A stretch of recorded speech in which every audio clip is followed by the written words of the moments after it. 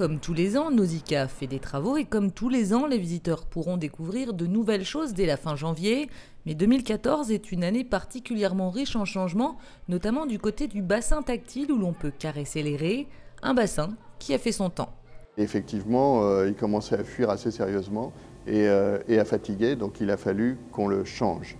Alors, ça passe par une phase de démolition et euh, un nouveau bassin tactile à cet emplacement ouvrira fin juin 2014, donc cette année. Et ce bassin tactile, d'ailleurs, sera beaucoup plus beau, plus moderne, etc., que celui-là, bien sûr. Mais comme Nausicaa ne peut pas rester sans bassin tactile, à la ouverture de janvier, il y aura un bassin tactile provisoire qui sera mis en place pour euh, nos raies et nos morues. Mais la grande nouveauté cette année à Nausicaa n'est pas là. Le chalutier, qui était un peu vieillot, va être remplacé par une aventure à bord de la Thalassa, un navire océanographique de l'Ifremer.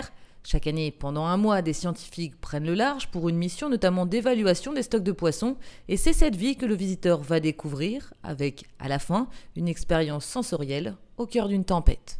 Cette tempête fera bouger le, plancher, on subira le tangage à bord, on aura de l'eau qui arrivera sur les vitrages, euh, etc. Enfin, c'est euh, comme si on y était, une tempête comme si on y était.